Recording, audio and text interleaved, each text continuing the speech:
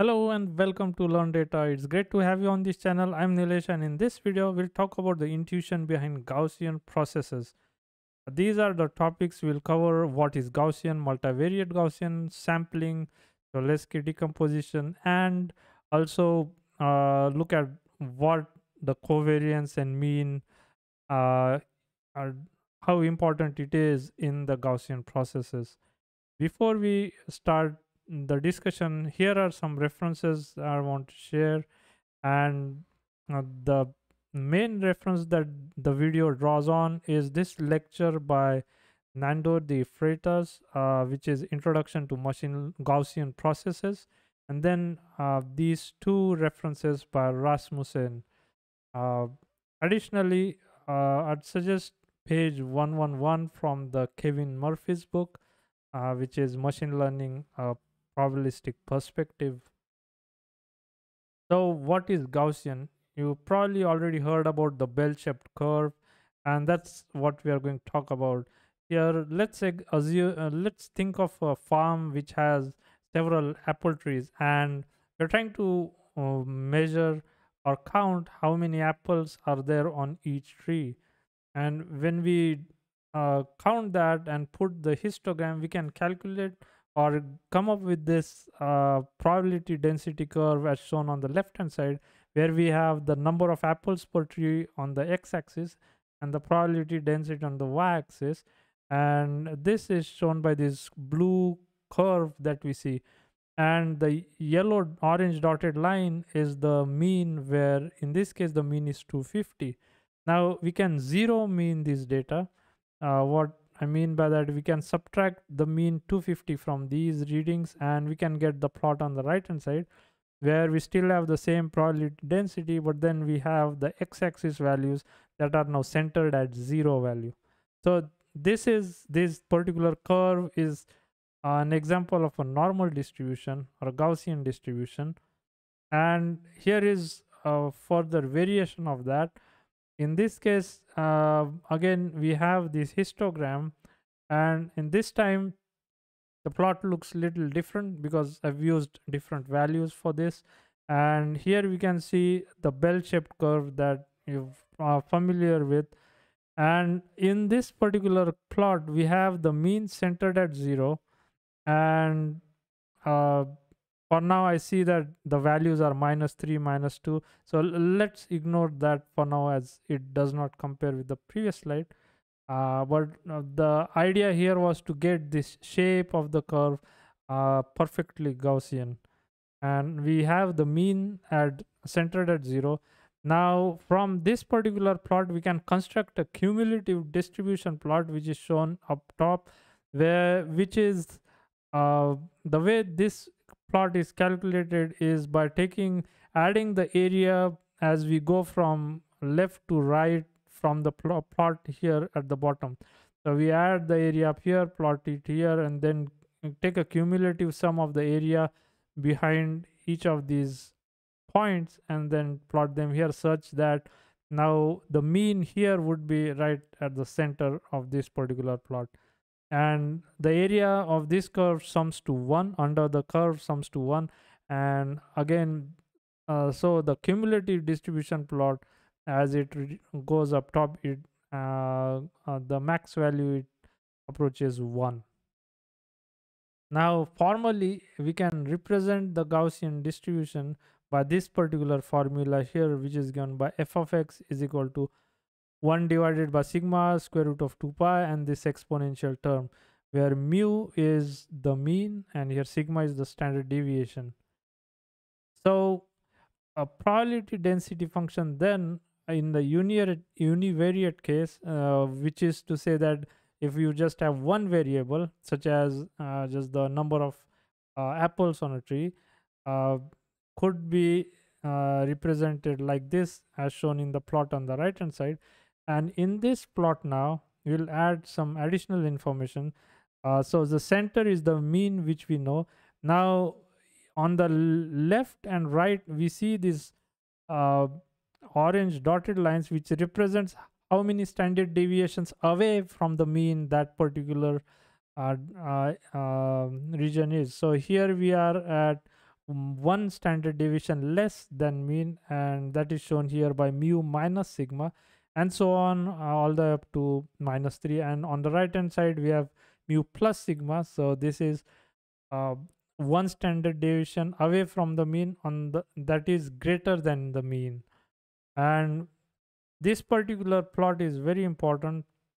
And what it tells us is that 68% of uh, the data points lie between minus 1 and plus 1 so um, minus uh, so that's plus minus 1 standard deviation from the mean. So the 68% of the apples uh, 68% of the trees would have the count of apples within uh, this range. And then 95% would have 95% um, of the trees would have uh, the count of apples that is plus minus two standard deviations away from the mean.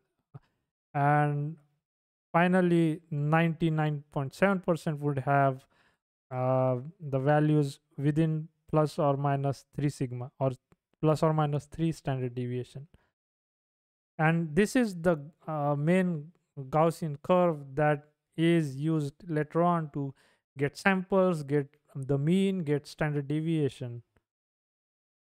Yeah, and so far we looked at a univariate case that is just one feature or one variable. Now imagine in addition to counting the number of apples on a tree, we are also interested in counting the average weight of apples on a tree, average weight of an apple.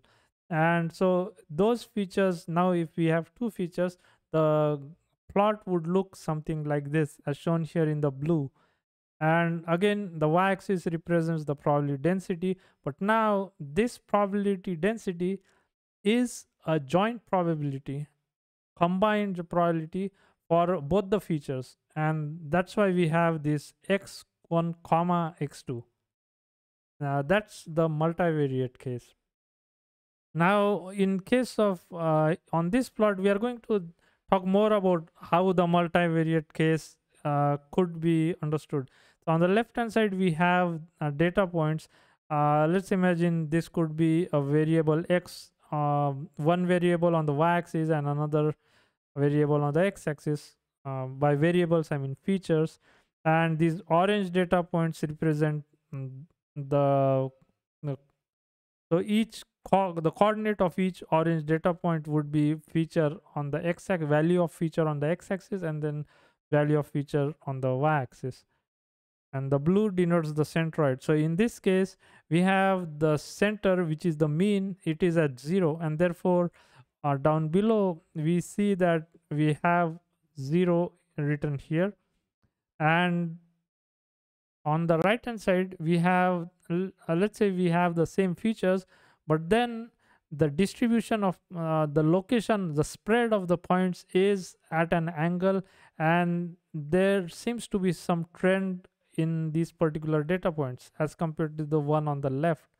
So the uh, takeaway message from these two plots is that here if we change the value of one of the features there is seems to be no effect on the value of other features and therefore these are uncorrelated. Whereas on the right hand side if we increase one feature if we go um, on this side uh, let's say we are going along the x-axis the values along the y-axis also seem to increase. And so uh, or decrease if we go on the other side. And so there seems to be a correlation between those two features. And what that's what these two uh, diagrams show. Now, to put it in a mathematical terms, what we have are the um, uh, equations shown below. On the left hand side, what this is saying that if we have two features x uh, x1 and x2, uh, they are drawn from the normal Gaussian. So Gaussian n represents the normal for Gaussian, uh, which has the properties or characteristics of mu or mean as zero and the covariance matrix it looks like this so where 1 represents the variances for each of those and 0 represents the covariance. So here because they are not correlated therefore those values are zero and therefore this is an identity matrix. So if you see points that are spread like this it means that they have a covariance matrix that is close to what we see here where off diagonal elements are zero. On the other hand on the right hand side we see that these are correlated and there seems to be a high correlation between the two features and therefore we have value of 0.8 so uh, in this case we do have the variances as one but then we have the covariances that are non-zero values. And those two uh, features let's imagine they are shown as these plots here. And when we try to when we are talking about joint probability what we are uh, doing is essentially uh, looking at them together. So these are then the data points that we are looking at which are a combination of both of those features. And thus we come up with this uh, we can uh, get this plot for the joint probability distribution that we've seen earlier. Now what we are interested for Gaussian processes is uh, getting a conditional probability distribution from this. So what we are trying to say is that given one of the features, how does the distribution of uh, how does the probability distribution look? So if we create a cut in this particular uh, plot, and if we look from this side onto this particular surface, we would see a Gaussian, we'd see a curve such as shown here on the right hand side. And what that curve is, is the probability of x2 given x1. And here again, this particular vertical bar shows that it's a conditional probability. The probability of x2 conditioned on x1 so in this case we are cutting this at value of x small x1 which is shown by this orange dotted uh, rectangle. So in this plot then uh, what we need to find is the mu which is the center and the standard deviations. So on the left hand side let's say we have the center of this uh, centroid of this particular um, joint probability distribution given by mu1 a vector mu1 and mu2 corresponding to the features x1 and x2 then uh, we can say that this particular distribution comes from a normal Gaussian where the mean is given by this vector and covariance is given by this capital sigma 1 1 uh, and capital sigma 1 2 and then sigma 2 1 and sigma 2 2 so these diagonal terms 1 1 and 2 2 those are the variances. And then the sigma 1 2 and 2 1 are the those are the covariances. So overall that's the covariance matrix. And so we can use that to find the values for the uh, uh, the mean mu 1 2 and the variance uh, 1 2 for this particular conditional probability distribution. And uh, that is given by this formula we are not going through the derivations but this is the uh, relation that we can use to find these two particular values that are used in the Gaussian processes. So here we have sigma 1 2 is given by sigma 1 1 minus sigma 1 2 and then inverse of sigma 2 2 and sigma 2 1 and then for mu2 we have this relation given here which is uh, this variance term is added to the mean of mu1 which is on which this particular uh, uh, plot or curve is conditioned on. And similarly for um, the variance we have this variance of x1 from which these values are subtracted So that's the central idea behind uh, going from a joint probability distribution of two features to a conditional probability in which we are interested in. And if there are more than two features, then this uh, would be a multi-dimensional plot and thus uh, this covariance matrix would have many more dimensions to it now let's talk about sampling from a gaussian distribution. So what sampling means is let's say uh, we have a, a let's say a, a bag in which we have uh, maybe red apples and green apples. And if we uh, pull take one apple from that particular bag then we are actually sampling that apple from the bag uh, so in this particular case that's the idea we are going to use where we have a distribution such as shown here on the conditional distribution which is shown here on the bottom. And we are going to draw data points from that. So we'll get mean values out of that particular distribution. Uh, we can get infinite number of values. So we can restrict to get getting a few values and we'll use that particular process of getting values from that is called sampling.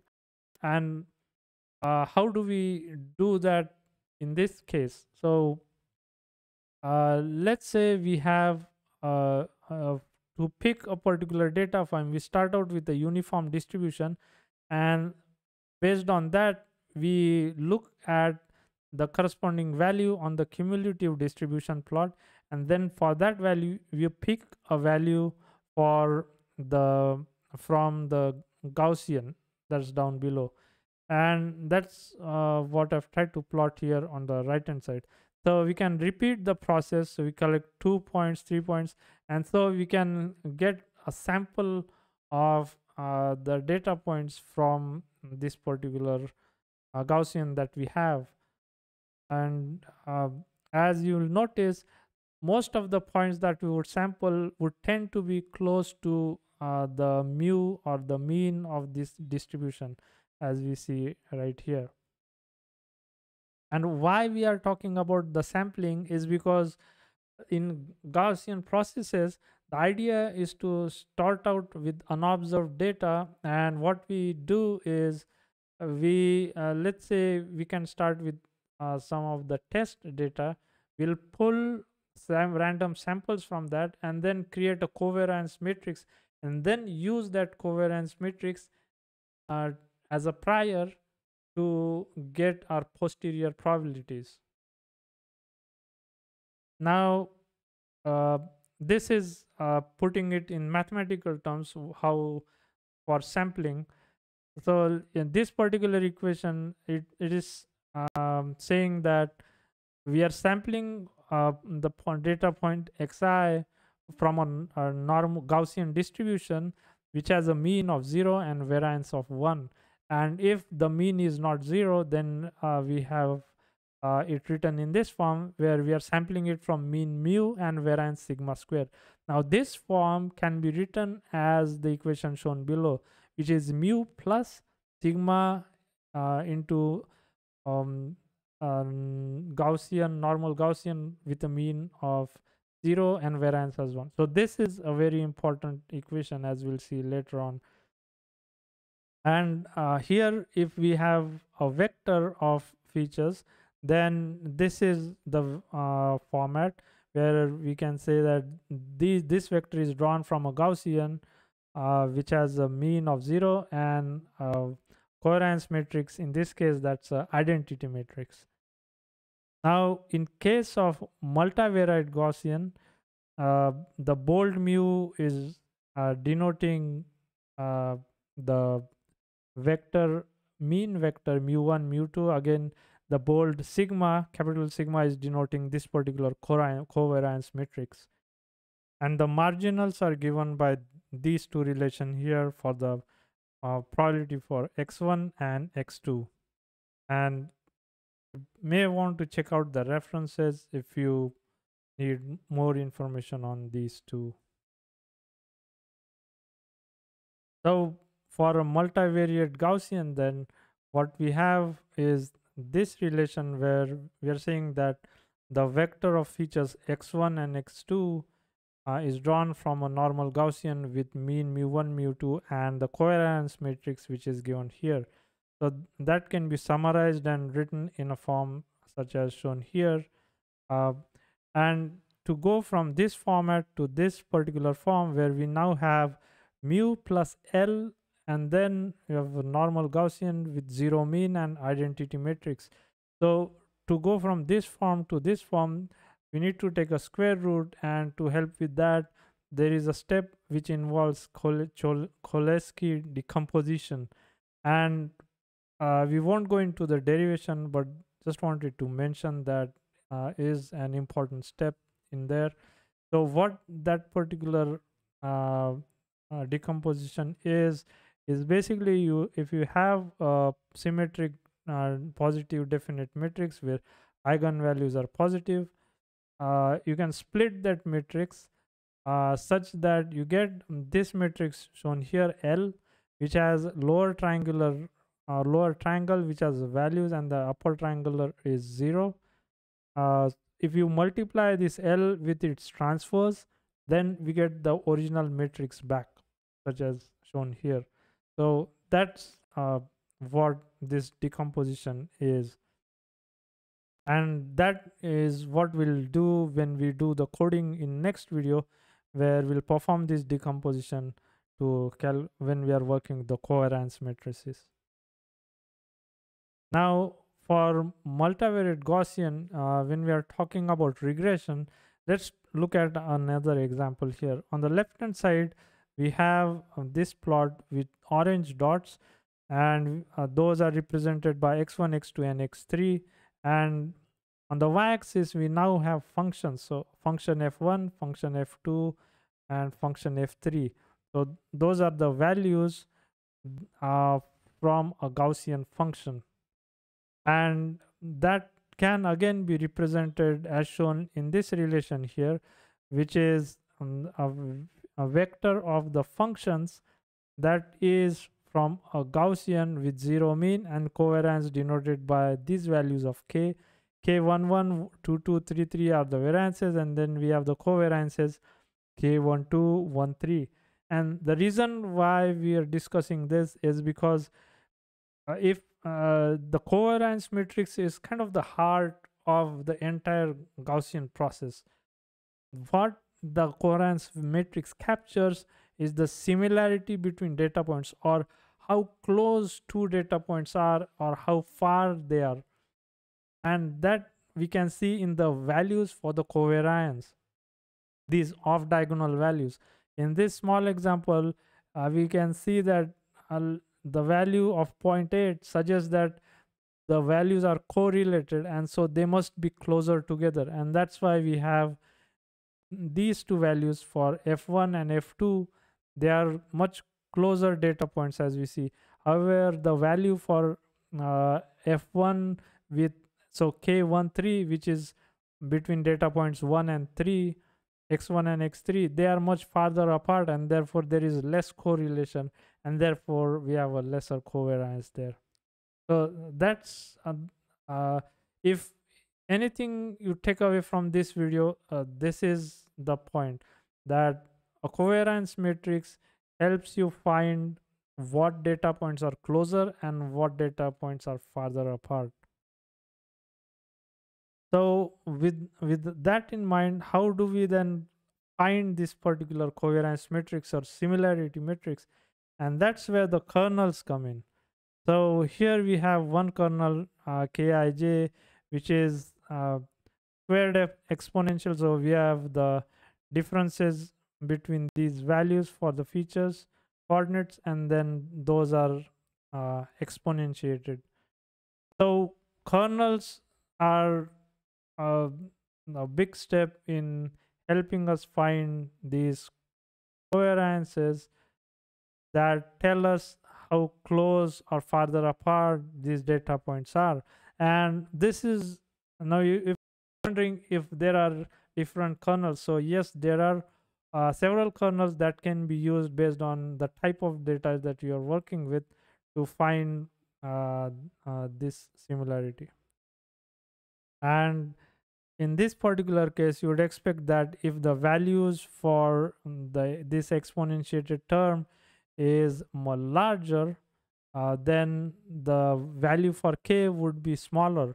So let's say if we have a value closer to infinity saying that those two uh, data points are very very far apart then the resulting value for that particular uh, covariance or that particular those two data points in the covariance matrix or kernel would be closer to zero. Whereas if they are much closer let's say if if we are looking at just the same data point together then this value would become zero because there's no distance between because if we are looking at the same data point and so the value of that would become one and therefore that's the highest value we'll get for uh, closer data points in the kernel output kernel. So that's the second point uh, to remember from this slide now this particular covariance uh, this term on the top right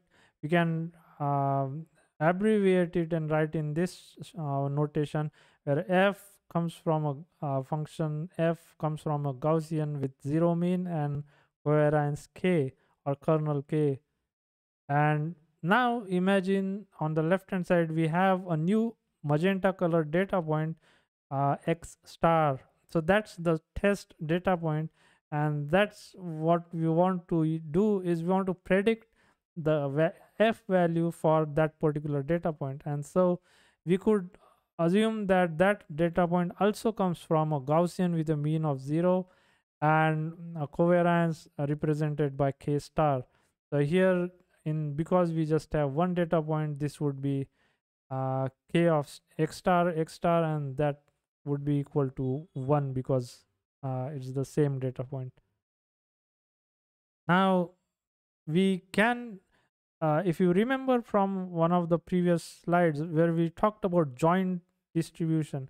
So here now we are looking at a joint gaussian between the data that we had and this particular new magenta data point. And that is represented by this equation down below where we have the top right corner we have the k11 through k33 that's from this part. And then we have these additional terms k 1 star 2 star 3 star then we have transpose of that right here. And then we have k star star written on the bottom right corner. And again assuming that the mean is zero. And then the feature and the function vector here has f star which is uh, uh, representing the value for uh, uh, the data point x star and if we abbreviate uh, these four matrices within this larger matrix as k, k star, k star star, and k star transpose, then uh, we can uh, uh, find the mean and variance for this new data point by this relation shown here on the left hand side.